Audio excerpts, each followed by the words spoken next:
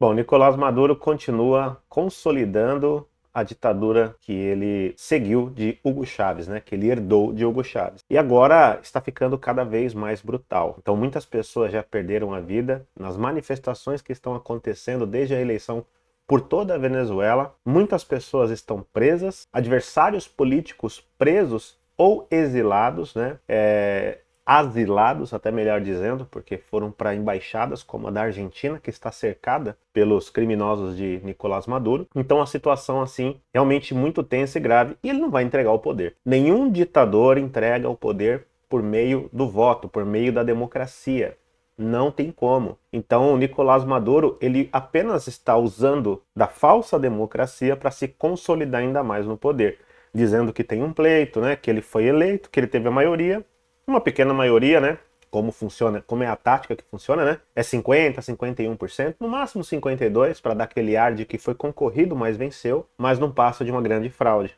Então, Nicolás Maduro, né, é, roubando a democracia venezuelana na cara dura. E o mundo está vendo.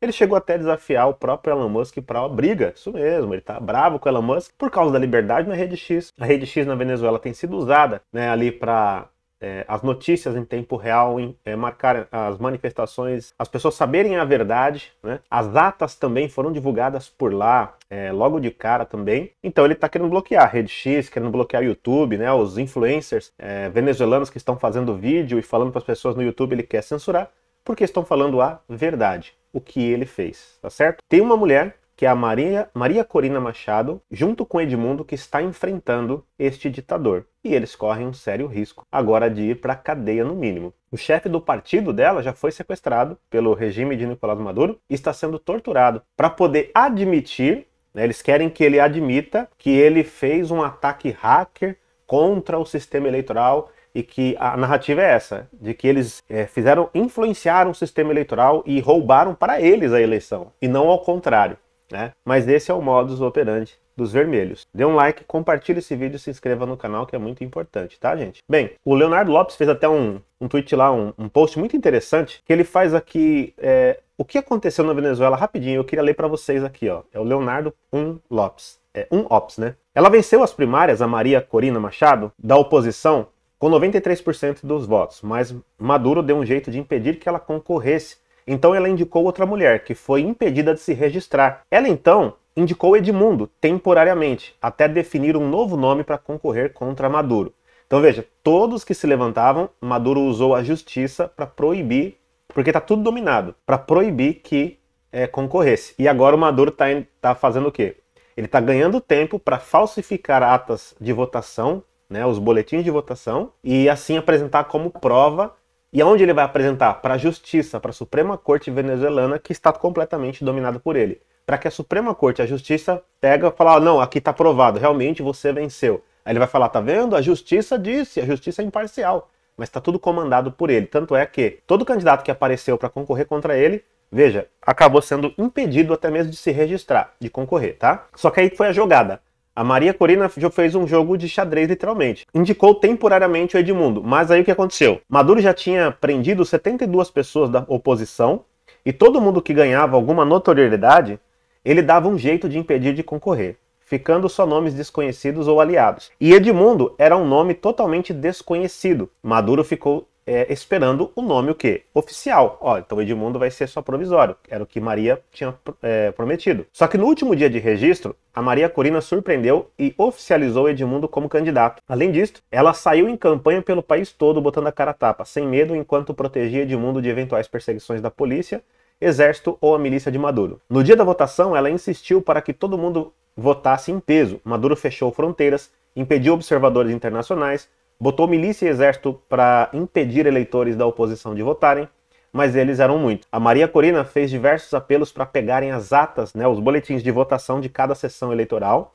assim que elas fossem liberadas, e com isso ela conseguiu 73% das atas. Até o CNE, que é que comanda as eleições por lá, né, que é dominado pelo Maduro também, o órgão que faz a contagem de votos, né, para é, parar de divulgar as atas e impedir a oposição de acompanhar a contagem de votos. O CNE anunciou Maduro como vencedor e a fraude estava confirmada, tá vendo? Mas ela já tinha o que precisava em mãos. Criou um website em menos de 48 horas e subiu tudo para o site, né, lá onde qualquer cidadão venezuelano consegue entrar em, com seu título de eleitor e consultar os votos de sua sessão, dando toda a transparência que o CNE não quer dar. A vitória de Edmundo foi tão expressiva que mesmo que Maduro tivesse 100% dos votos, é, ali dos 27% que, re, que restava, né, das atas, ainda assim o Edmundo sairia vencedor. Então agora o Maduro está fazendo o quê? Perseguindo a mulher, acusando ela que ela está causando o terror na Venezuela, né? Que ela é, ela é fechada com a CIA, com com Elon Musk, ele está fazendo toda uma história assim, porque eles querem acabar com a democracia do país. A democracia só existe se o Maduro for o ditador. É, Para você ver como né, esses caras no mundo inteiro deturparam o que é a democracia realmente. Aqui veja um vídeo aonde a Maria, sem medo algum, ela vai até os policiais e fala para eles abaixem suas armas, né? E pergunta: acaso você tem comida na sua casa? Você, né, tem para sua família? Olha só. Chicos, no estamos haciendo nada. Muchachos, guardias nacionales, esta lucha es por ustedes, esta lucha es para sus hijos. Suelten las armas, suelten las armas. Usted sabe, usted sabe. Es lo que estamos haciendo para unir a Venezuela, para salvar a Venezuela. Usted lo sabe, ustedes lo saben. ¿Acaso tienen alimentos en sus casas? ¿Acaso tienen alimentos en los cuarteles? Les pregunto. ¿Están bien armados? ¿Están bien equipados? ¿Cómo están sus botas? ¿Cómo están de municiones? Por Dios, esta lucha para salvar a Venezuela y los necesitamos a ustedes. ¡Suelten las armas! Então veja, né? Um povo que está desarmado, está lutando com paus e pedras contra a guarda, contra a milícia, contra o exército porque uma ditadura ela só é, consegue permanecer no poder porque tem quem mantenha ela, normalmente militares, né? Então quando eles tomam os militares, né, comandam tudo ali, acabou, né? Então somente se uma ala ou completamente os militares acabarem se voltando contra ou tiver uma intervenção externa. Esse é o cenário que eu vejo para a Venezuela. Eu não vejo outro cenário de que o povo, né, sabe, vá conseguir realmente tirar ele e tal ou vai ser por meio da ala militar, alguma ala ali é, se revoltando, ou toda ela, ou através de uma intervenção externa, tá certo? Porque o povo tá lutando com paus e pedras, literalmente, tá? O site está disponível, né?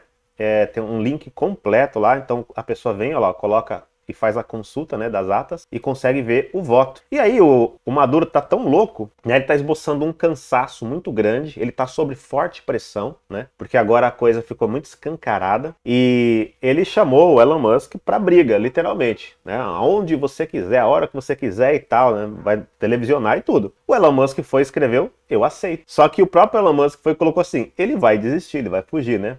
Que o Maduro não vai, é, não vai querer, né? É lógico. E então isso ganhou também uma grande repercussão. É, o Maduro criando vários tipos de factoides, né? De ilusão na televisão para dizer que tem até um conluio CIA, é, Elon Musk, todo mundo para derrubar a democracia dele. Né? Todo mundo quer derrubar a democracia dele. Bom, é, muitas pessoas armadas, funcionários da ditadura de Maduro, né? Então são ditadores como ele, porque como eu disse, só existe uma ditadura quando você tem quem mantenha ela. O ditador sozinho não consegue manter. Então ele precisa de toda uma estrutura militar para isso, armada. Bom, eles estão cercando, está cercada ali já tem um, dias a embaixada da Argentina. Por que a embaixada da Argentina? Porque só lá né, nessa embaixada tem seis perseguidos políticos asilados. Isso mesmo, adversários políticos de Maduro estão lá. Então, para você ver a democracia dele, ninguém pode se opor. Quem se opõe vai para cadeia. E ele agora está querendo um projeto de lei para censurar as redes, né? Porque tudo. Eles vão passar no Congresso, como se o Congresso fosse livre, como se a justiça fosse livre. Ele quer uma lei para censurar a rede, para criminalizar, sabe o quê? O crime de ódio na internet. Qual que é o crime de ódio na boca dele? Aquele que vá contra a sua ditadura. E quem duvidar do pleito deste ano, né? Quem duvidar das eleições dele também. Ele está querendo até 30 anos de cadeia. Isso mesmo, só para você ter ideia de como que tá a coisa. E vai fazendo um paralelo aí, tá? Aqui né, uma senhora lá é, foi testemunha de numa assembleia de voto, né, que foi raptada, né, sequestrada ali completamente pelos lacaios do é, Nicolás Maduro. E eles vão de motos, tá? Todos usam motos e vão até lá e pegam. O próprio Ivan Kleber tinha compartilhado ali, ó, o partido de oposição Voluntar Popular denunciou que o regime de Maduro está torturando o Fred Superlano, um dos líderes da oposição que foi raptado pela polícia política da ditadura nesta terça. Segundo a denúncia, forças chavistas é, procuram fazê-lo confessar o falso plano montado por porta-vozes do regime, como o Tarek William Saab. O que, que, é esse cara que também é procurado, né? Esse Saab tinha que estar tá preso, né? Mas tá lá. O que, que acontece? Eles querem fazer o cara confessar um plano que eles inventaram. Então eles inventaram que é um ataque hacker, uma manipulação eleitoral está acontecendo e que, né? Ele é, ele é um dos arquitetos, então ele tem que confessar e denunciar a Maria e a Maria e o Edmundo, né? Aqui é um vídeo de cortar realmente o coração, é, em que mostra um, um venezuelano falando, né, sobre a situação da Venezuela. Presta atenção. Todos os dias me despierto en la mañana pensando, Dios mío, que voy a comer al mediodía, que voy a comer la noche. Ya basta, ya basta porque somos venezolanos, somos trabajadores y somos buenas personas. Ya basta de esta miseria maraconina, de que mi mamá tenga una pensión pobre. Por favor, señores, ya basta, Maraconina. Te queremos, te queremos, Maraconina. Por favor. Bom, são gerações que estão sofrendo, né? Então a geração atual sofre com a escolha da geração que passou e que muitos continuam aí ao escolherem Hugo Chávez, ao acreditarem que o socialismo é bom, ele é bonzinho. Você pode votar para colocar eles no poder, mas você não pode votar para tirá-los do poder. Essa é a realidade, tá? Então aqui é um momento em que a ditadura do Maduro ele sequestra o líder, né, um dos líderes da oposição, olha lá. Simplesmente eles chegam encapuzados, chegam em carros, colocam as pessoas lá dentro e somem com as pessoas. É assim que funciona, né, o, um regime autoritário, tá? A OEA também confirmou a fraude no processo é, eleitoral da Venezuela. Então, soltou a mão de Maduro a OEA, tá? Então, só para você já ver como que tá a coisa para Maduro. É por isso que ele está muito preocupado dessa vez. Também o que tem acontecido, grupos é, é, de criminosos, tá?